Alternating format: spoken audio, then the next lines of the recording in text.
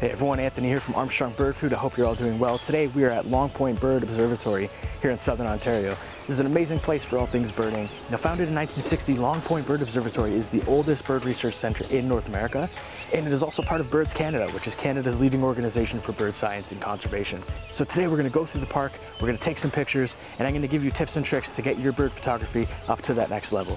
All right, let's get going. The first thing to consider with your camera is your focal length. When shooting birds, it's important to keep them at a safe distance, both not to startle them in their home, but also for the candidness of your photos. With that in mind, you'll want a lens that can reach around 400 to 450 millimeters or 300 millimeters on an APS-C camera like the Fujifilm system I'm using here. But within reason, the longer the focal length, the better. And in my experience, something like a 100 to 600 millimeter zoom lens gives the absolute perfect range for bird photography. The next important thing to consider would be your aperture and your shutter speed. Before we continue, I recommend setting your camera to manual with auto ISO. This will allow you to adjust your shutter speed as needed, your aperture to stay at its widest, and your ISO to compensate for the shift in exposure on the fly. In almost all cases, you'll want your aperture as wide as possible. The wider the aperture or the smaller the f number, the brighter the photo, and the shallower your focus or the blurrier the background will be. This is crucial because with birds, you typically want a very high shutter speed, and the higher your shutter speed is, the darker your image is going to be. And you want raising your ISO to be your last resort, as this can introduce noise. When shooting birds, you want your shutter speed to be between 1 800th and around 1 4000th of a second, depending on the size of the bird and whether or not they're moving. A rule of thumb is the smaller the bird, the faster their wings move, and therefore the faster the shutter speed.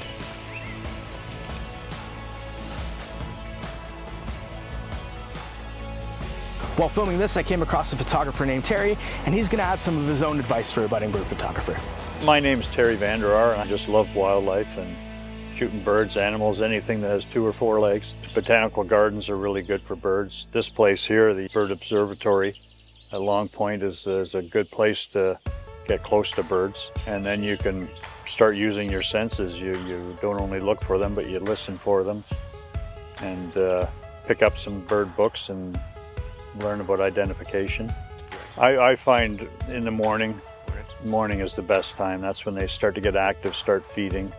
And especially in photography, you'd want the morning light as opposed to later on, like this time of day, midday, you got harsh sunlight Yeah. casting a lot of shadows and uh, it, it's tough to shoot as a photographer that time of day. They always talk about the golden hour, which is like an hour after sunrise. And if it's a little bit overcast and you have some filtered light, you can shoot for most of the morning before it gets too harsh. I, I prefer to have the light behind me when possible. And my, if I'm shooting a bird and I see it in my viewfinder, I don't see that glint in the eye, I don't shoot. To me, to me, when I see just a black eye, it just doesn't, it takes away from the photo. You want to see that glint in the eye that brings that photo to life. You want to, you want to focus on, on the head of the bird as much as possible. Like if, if you can get the eyes and the head in sharp focus, if the rest of the bird is not in focus, it's not as important. But if, if the head and the eyes are, are blurry, it just takes away from your shot. It's like shooting your pets, right? You're going to shoot your dog or your cat, if the eyes or the head are blurry, the whole shot is no good. But if you can get the eyes sharp and the rest of the body is out of focus, it doesn't seem to matter because your eyes focus on, on that part of it. And when you're shooting with like telephoto lenses, your depth of field is a lot shallower. So sometimes you're close that you can't get that whole bird in focus. So if you're going to get any of it in focus, make sure that head is what your focal point is. Well, thank you very much, Terry. Oh, thank you. Yeah, thanks very much. Now the next thing I want to talk about is autofocus. So autofocus is incredibly important. As you can see, it's tracking me as I move about the frame and keeping me in focus.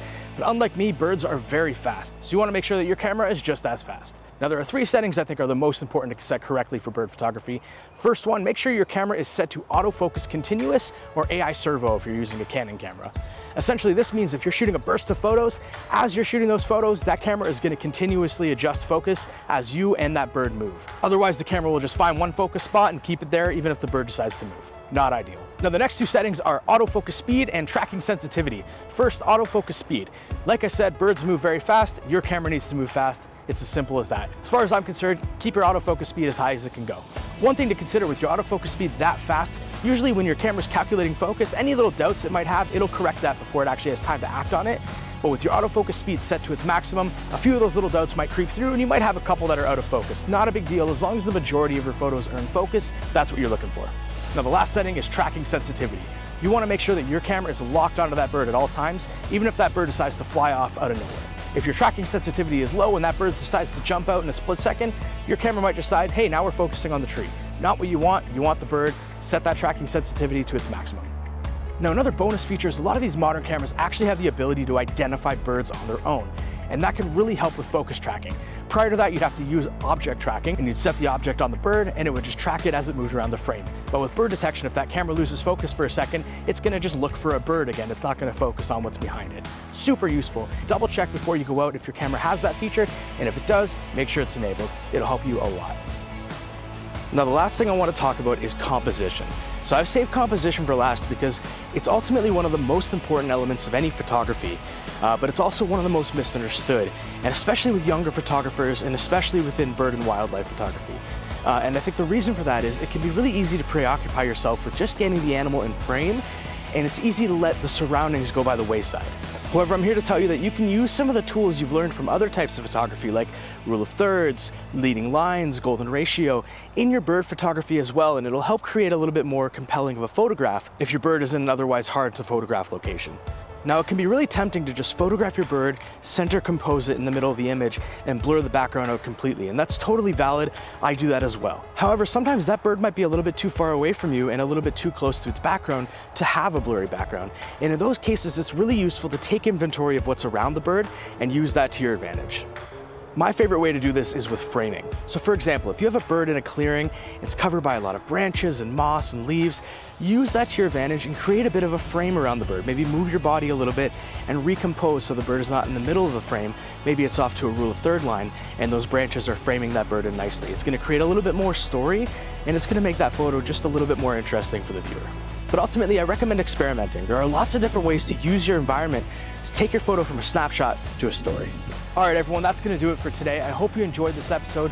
It was a pleasure for me to make, and it was a joy for me to be able to share some of my knowledge with you. If you have any questions at all, please drop them down in a comment, a private message, email. We'll make sure to answer them. And if you guys wanna see a more in-depth bird photography video, let us know that as well. I'm also going to be making a follow-up video on editing bird photography, so keep an eye out for that. Otherwise, everyone, take care of yourselves, and we'll see you in the next one.